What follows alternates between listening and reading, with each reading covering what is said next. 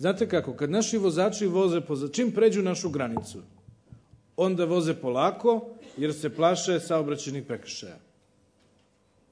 A čim dođu u Srbiju, misle da je moguće i dozvoljeno sve. Ovde nije u pitanju represija prema bilo kome, ovde je reč o tome da se zaštite ljudski životi.